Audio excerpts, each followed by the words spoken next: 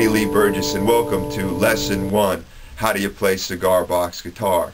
The song that you heard in the beginning of this video is an old English drinking song called Show Me the Way to Go Home. It was popularized by the movie Jaws. We'll be learning that song later on in these lessons. Now the idea of these lessons are to teach anyone who's interested in playing cigar box guitar basic music theory and techniques.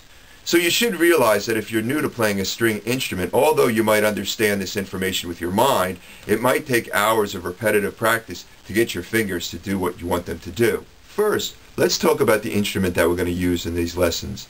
Now there is no standard cigar box guitar in regards to how many strings or even how it's tuned.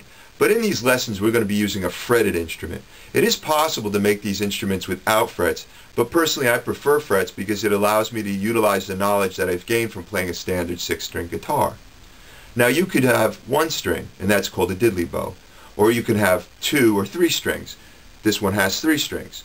Next would be four strings. Now right there you're already getting into a standard instrument because ukuleles, mandolins, tenor guitars, plectrum banjos, and a whole host of instruments from the Middle East have four strings. So what this means is you can utilize the knowledge that you gain from playing a four-string cigar box guitar, take that different instrument, restring it, retune it, and still get the unique sound characteristics of that instrument.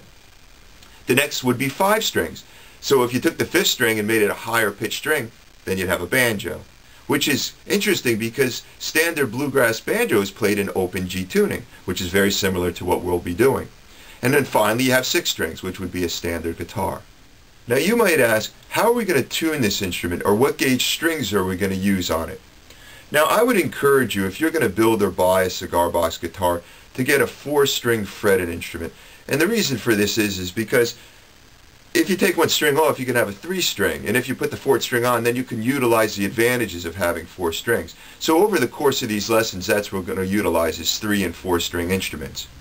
Now we're going to start by using a three string instrument and we're going to tune it using a standard medium gauge pack of strings. We're going to utilize strings 5, 4, and 3. That would be the A, D, and G string. But we're going to put them on and then we'll tune it from low to high. We'll tune it G, D, G. Now, I guess you're wondering, should I build or should I buy? If you're planning on building, I'll post some resources on the end of this video. Check them out. I think these people will be able to help you build a cigar box guitar. And please don't direct your questions about building to me because even though I had a hand in building this cigar box guitar, my friend Bill was the real mastermind.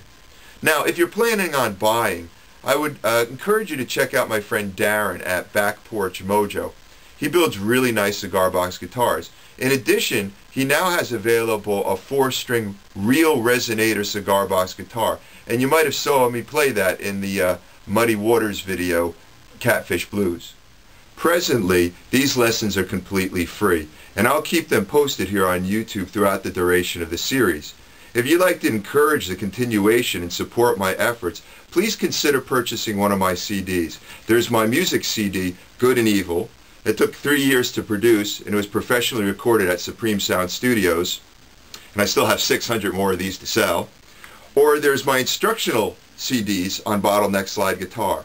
Series 1 contains cigar box guitar lessons, and although it was produced for a six-string guitar, Throughout the course of this lesson, you'll see that these ideas are completely applicable to a three or four string cigar box guitar. Also, if you're kind enough to purchase one of my CDs and you're a dealer, possibly you make cigar box guitars or bottleneck slides, and would like your contact information to appear on one of my upcoming videos, I'd be glad to include that. Also, if you have a website that has information that might interest viewers of these lessons, I could put you on the resource pages. Please just leave a note when you purchase the CD. Now certainly you could play a cigar box guitar just like a standard guitar, but I also like to use a bottleneck slide. But I won't be reteaching that information. It's already contained on the Series 1 CD. Also, it's not necessary to wear a thumb pick and two finger picks, but like you'll see in the upcoming clip, the tone and the volume that you get is really worth it. And also, because it protects your fingers, you're really able to dig into the guitar and do nice rolls.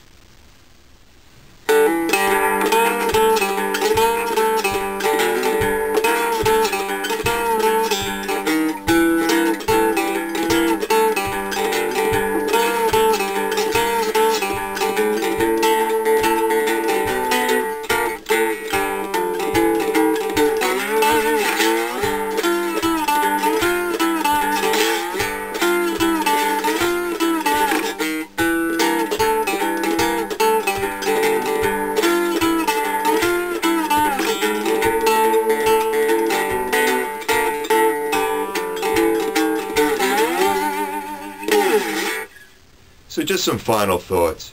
Over the years here on YouTube, I've made a lot of nice friends while teaching Bottleneck Slide and posting music videos, so I'm certainly interested in hearing your comments and constructive criticism. Also, because I'm trying to build these lessons off the Series 1 CD and not reteach a lot of material, I'm assuming you know how to create a major scale, a pentatonic blues scale, and have some basic music theory. So actually, we're going to start these lessons with a review of double stops.